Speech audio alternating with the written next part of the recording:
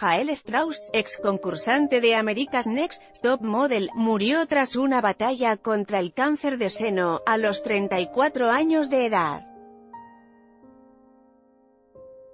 Su página oficial de recaudación de fondos en FanMe publicó, hoy perdemos a nuestro ángel en la tierra y ella ha vuelto al mundo espiritual del que llegó y sabemos que ella nos estará cuidando.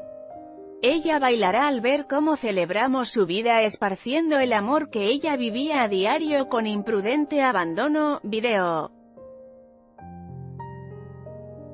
Lanzan desde alto de muro fronterizo a tres niños de México a Eula Modelo hizo pública su lucha contra el cáncer de seno en etapa 4 en octubre.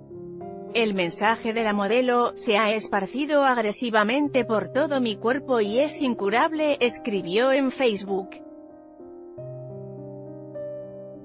Con tratamiento podría prolongar mi vida un poco más de los pocos meses que los doctores dijeron que podría tener. No quiero morir. El 22 de noviembre fue ingresada al hospital.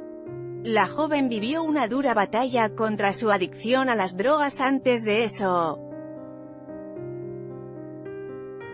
Confesó cómo su vida se le había ido de las manos tras su paso por el concurso, luchando porque se había quedado sin casa y era adicta a las metanfetaminas.